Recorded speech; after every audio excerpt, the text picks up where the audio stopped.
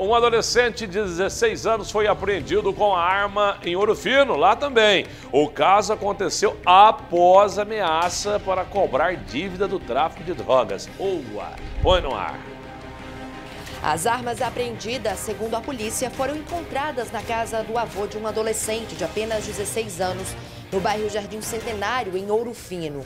A ação da polícia começou após uma denúncia anônima de ameaça para cobrar um dinheiro do tráfico de drogas. Indicando que dois cidadãos em um veículo se deslocaram até a residência de uma terceira pessoa e lá forçaram essa pessoa a entrar no veículo. Com base nessas informações, a Polícia Militar, com as suas duas equipes que estavam no turno, a Patrulha de Operação Bravo e a Rádio Patrulha, se deslocaram para verificar o que estava de fato acontecendo e sendo denunciado no 190. O carro foi abordado. O menor estava acompanhado de um jovem de 24 anos, que estava com mais de R$ 1.300.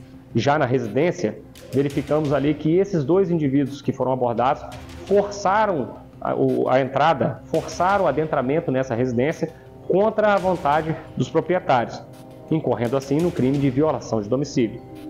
Com base nessas informações, o autor foi preso em flagrante delito pelo crime de violação de domicílio e o menor foi apreendido em flagrante do ato infracional, também correspondente ao crime de violação de domicílio.